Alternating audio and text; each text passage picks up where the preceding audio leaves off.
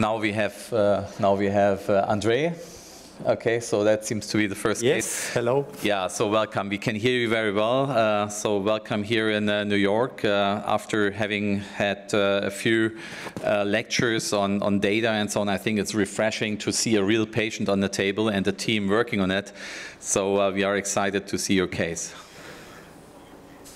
Yes, hello. So uh, we can hear you also very well. And um, uh, hello to everybody. And thanks for letting us participate here uh, with our cases. With me is uh, Sven Bräunlich from our department. And I guess we can right away start. And maybe, Sven, you can introduce the case. Yes, sure. Good morning also uh, from my side. Uh, next slide. We have a 60 year, 61 year old uh, gentleman.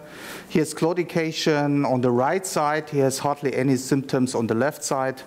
Uh, ABI uh, on the right side is 0.42. Uh, on the left side also reduced 0.56. Risk factors, arterial hypertension, uh, smoking, coronary artery disease. He had already some work on his peripheral arteries, uh, stent implantation on the right iliac artery in 2014.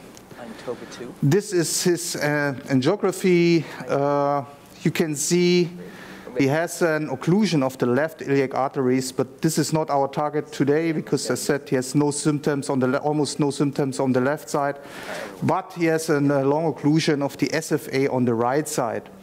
Uh, next slide, and this is uh, our strategy because of the occlusion on the left iliac, so we want to do an antegrade recanalization here coming from the right uh, femoral uh, excess and an antegrade uh, guide wire passage. Of course, we are also prepared to do a retrograde puncture in case of failure. And after predilatation, drug-coated balloon or, if necessary, drug-eluting stent treatment uh, is planned. Yeah. yeah, fine. Thank you very much. So maybe we can switch to the angio screen. And uh, yeah, we have punctured, of course, already. And uh, here you can see the antegrade puncture uh, seems to be a little bit close to the bifurcation. Um, nevertheless, I think we have uh, enough place here to work safely on the SFA. Uh, I cannot really see a lot of calcium in the proximal part, but typically distal then some calcium. And um, here, different, different to the previous angio, it seems to reach further down this occlusion. However, with uh, some stronger injection, you still can see this uh, remaining channel from the, uh, the P1 segment going upwards. So outflow is okay. Uh, so in fact, this would be a typical case for us to, I mean, primarily maybe think of drug-coated balloons, even if it's a long, even although it's a long lesion, potentially need some stabilization at that areas where we have uh, this calcium. So at the end, in fact, we would um, decide after uh, predilation uh, what to do, whether we need stenting directly or, or drug-coated balloon. Yeah, so we are ready to start. We have loaded um, a V18 control into a balloon, 420. In fact, we measured here in this case the diameter of the SFA because these arteries look very small. And we really found a five millimeter diameter SFA artery here at that cast, at that uh, occlusion. Um, so it, it, seems to be quite small. Yeah. So we start here with a 420 um, balloon to go down. And um, shall I give you a roadmap or maybe yeah, a roadmap? Yeah, roadmap is a good idea. Yeah. Okay. Okay. Yeah, there's so some stump here, but then the occlusion starts. Just a moment. Uh, I think now we can take the roadmap out. Uh. Shall I? Yeah,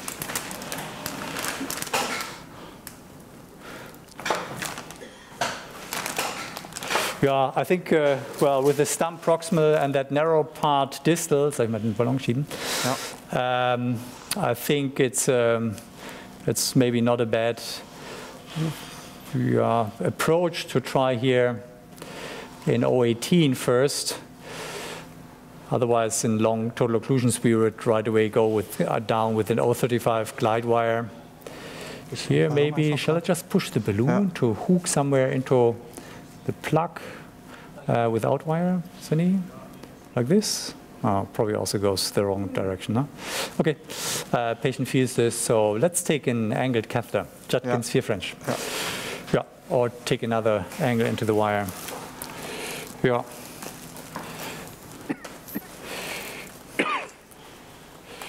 Just a moment. Yeah, any uh, other approach you would choose or? Well, I think uh, we can discuss here. Uh, I mean, clearly you're trying to cross uh, in the uh, true lumen here with an 018 approach. Is that, uh, let's say, in the context of uh, trying to use, uh, yeah, Kannst du mal einen Talk? DCB technology? Uh, is that something everybody would do? When would you switch to, to maybe a more robust uh, 035 uh, crossing? Bill? Yeah, I, I, um, It's this is a pretty good strategy. I think it's uh, reasonable to try to get through the Yeah, total, through the total in the true lumen, but, uh, you know, if you got through most of it and and we're subintimal in a portion of it, Let's re-entered quickly, like it looks like he's probably going to do here, that still wouldn't prohibit uh, DCB usage. We've seen plenty of successful outcomes See? Hold my please. that way. So Andre, distally we've seen the refilling of this of the segment uh, also uh, above the incoming collateral. Uh, so any precautions you take not to not to uh, dissect beyond the collateral? I mean, I know that uh, many times you're also considering retrograde approaches in, in, in this scenario. Yeah, absolutely. So we are clearly here prepared to go retrograde once we have the impression that we dissect here across that area, and that's currently, in fact, the case. So I, I really wouldn't uh, try here now to, I mean, dissect further down to that area, I would try to avoid this, where the artery is um, more uh, uh, wider. Uh, so because I think clearly if I, and that may mean that we have to stent down to P1, uh, which uh, I clearly would like to avoid having drug-coated balloons available. So therefore, I'm gonna balloon down to that area here. And uh, potentially now we take um, a CTO wire. Let's take the uh, Victory 30 gram to maybe be able to just poke back here into that, that area. So this ballooning is meant Yeah, to but, uh, potentially disrupt the membrane a little bit and find an entry hole into the true lumen. Yeah, exactly. So also, I mean, if this uh, wire uh, with a straight balloon doesn't work here, the CTO wire, the next step of escalation could be to uh, take an angled catheter down, Judkins, for example, and for that, uh, predilation is uh, extremely helpful. Oh, da geht er nicht raus. I actually, So, I actually but first the, the angled catheter and straight wire as my initial uh, combination because I find that the wire will, the curved wires will seek um, subintimal space sometimes or, or knuckle up pretty quickly. So the angle Yeah. gives, the angled catheter gives you that ability to steer while you have a straight wire hopefully seeking a, So do you, Center cut, lumen. do you cut the tip then off? I do. I, I take, the bev- I ta- I bevel it. Yeah. I cut the, I cut it, so that helps in calcium. I can screw it in and get through the uh, severe uh, tortuosity or the severe calcification quite easily just by spinning the catheter. So I do modify the catheter. So are you using any of the reentry devices at all? Um, Yeah, only when needed. Yeah. But the- I don't, I mean, I I think they still use them. provide, there's still a, a use for them. I Yeah. think the I don't- I don't Outback and so on, I think Yeah. is still, can be useful uh, once you've uh, exhausted these other techniques. But the key is to not dissect farther than you need to, you know, into, the- into the healthy vessel. So you make a little, very little bend on the CTO wire here. Yeah, very, yes, yes, exactly. Very little. If it's too big, wires very easily destroyed. First wire somehow was destroyed already before we took it out. So uh, we have to be very cautious with these wires. And I usually directly go to, yeah, to 30 gram, skip the ones with less weight tip. And of course, this could also be done differently. Yeah, let's see. Yeah, what you just did was very important that you uh, pulled back your catheter Otherwise, uh, the tip of the guide wire would have moved directly into the subintimal space. So if, if your intention of pre-dilatation is to disrupt the membrane, you need to pull back the catheter a little bit. And this gleich was done exactly here. I think more success is, is gotten in CTOs by retreating than advancing. Yeah. I agree. Ach, da ist eine Ah, nee, Blader. das glaube ich nicht ganz so. Okay, so usually we do not spend too much time for this here and rather go directly retrograde. I think this really helps to save time, radiation, because this, no, it's still subintimal. Yeah, and I mean, the more I try, uh, the higher the risk that I destroy that area here. 9 cm fix So therefore, I think we're gonna go retrograde now. It's a little far down, but I think the nine centimeter long needle should still reach that area. Um, I feel the, my, uh, yeah, the femur head here and right above the medial femur head. Gibt es einen ganz kleinen Betäubungspieks hier, nicht erschrecken. I give some local anesthesia. Und neuer V18. Ja. Ja, ja.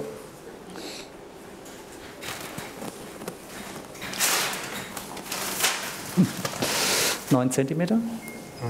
Neun Zentimeter, 21 G-Nadel. Hatte ich dir schon gegeben? Die ist nicht da. Hier, hier, hier. Yeah, for this area you need a nine centimeter long needle. So, Andre, I think the problem is here. I'm not sure if we can really stay with you here because we are left with a, almost Yeah. an undoable schedule here. We, uh, uh, PK is in the other room and wants to f- uh, do his case, and we have two more talks and need to finish in 15 minutes. Um, so Yeah. it's almost not possible. Uh, I think we will see details of this retrograde uh, uh, stitch uh, also in the technical forum later today. Um, maybe you can record for us uh, a little bit of the crossing, and Of we want to come back uh, uh, Sure. somewhat later to see more. Yeah. Uh, so I would suggest uh, we switch to PK and. Gib mal den äh, Quick Geht nicht raus, doch? So, An- Andre, we are back with you. Yes. Yeah, we are pretty far with the case, but not yet done. Just a moment. So we, we, we punctured here retrograde, which was not so easy because um, this uh, distal portion collapsed. Uh, so actually we couldn't see really anything, just punctured to the wire. That's actually also something which uh, very easily can occur if you take a re-entry device in there. The rest of the lumen uh, collapses. But nevertheless, with a little bit of feeling, yeah, here we thought we saw the SFA. Uh, we took the needle here into that area. Uh, wire, however, didn't go in, so we had to go lateral to see. And obviously, the wire was too far through the artery, so we pulled it back a little bit, gently, gently, and then we took here the wire up to the SFA. And that went very nicely here uh, into the SFA here, to, into the pre-dilated SFA here, potentially into, into a collateral. So therefore, yeah, we pre-dilated proximal once again, take a Judkins right down to, um, sorry, uh, to snare the wire here, which was also not so difficult. And then uh, took a balloon down. And for hemostasis first, we took the balloon out of the artery, blocking that hole. Uh, the uh, support catheter was out from the distal area already, and then we slightly pulled back the balloon so that the wire could go downwards like this here. Yeah, now we pre-dilated already with a five millimeter balloon, and um, uh, we uh, see what we have a little bit expected, that proximal where the well, where it was not so calcified, it looks okay, although relatively collapsed, I must say. So maybe also there we take stents in. It was done with a five millimeter balloon now. Uh, patient complained, so I don't think it was an undersized balloon. But clearly here in the mid portion where we see this calcium, we have some quite uh, significant dissections, I would say. So I think we, we stick to our plan that we take the stents down across that dissections, also proximal where we have this recoil, but distal uh, where there was still a slight channel open, we will treat this with a Ranger drug-coated balloon, so avoiding taking stents down to the P1 segment. Huh? Yeah. I think that sounds like a good plan. Any comments, Bill? No, I agree. I think Andre's done a nice job so far. Particularly also leaving the P1 segment without any implant is, um, is certainly a good idea because that's the area where we first of all have seen issues with stent durabilities uh, due to the mechanical forces and secondarily also it's rarely done nowadays anymore. P1 bypass might also like uh, to use this as a landing zone so Yeah. Anyhow, our surgical colleagues always feel better if we don't put metals in that. I think Ja, since the segment has not been occluded just the nose, I er think it's, it's, it's good to use DCB only there. Ist die Roadmap raus? Especially when the disease doesn't take you into the P1. Einmal Minus drücken. It's a reentry issue and you can avoid stenting the P1, I agree. Sometimes the disease takes you, you don't have a choice. So Andre, you're using here the Eluvia stent. Um, we heard it's a purposely built uh, stand for for the SFA. And uh, how do you size it? And what size is that actually here? Yeah, so this is one millimeter oversized, so we pre-dilated with a five millimeter. This is a six, um, so one millimeter oversizing we do. Noch so ein 600. Da haben wir schon hier. Uh, yeah. So we will stent up to the bifurcation now. However, maybe first we take the Ranger distal, because at the end, with a very close puncture to the femoral bifurcation, we may have problems to get back in uh, in a stable position to, to balloon there. Yeah, so we will continue with drug-coated balloon distal and then take stents up and yeah, not sure. We, maybe we can show you the, the result later or? Yeah, I think it m- might be a good idea here because we are really late in our program and uh, so I think uh, if you can show us maybe uh, the result at the beginning of the next case in the next session, that might be the best solution. Yeah. Okay, Andre, thanks Perfect. very much for showing us this very challenging case, difficult crossing, and uh, here the differential use of uh, different drug-eluting technologies. Um, We have two more talks, but I guess it is probably wise to go Yeah, maybe we have the chance to just quickly show the result of the last case. Um, Just a moment. Yeah, okay. So Svenny, if you show the case. So this is here after taking Eluvia stents in, actually three Eluvias, uh, 600, 600, and uh, 660, uh, right to the femoral bifurcation. And uh, maybe next picture. Here's the treatment distal after drug-coated balloon, two drug-coated balloons. There was also a popliteal stenosis. So I think it's um, right what we wanted. Looks very nice. And yeah, we are happy with this case. Closed with ProGlide. Outflows, very good. Nice, Okay. a challenging case. Yeah, just wanted to show you this. Yeah.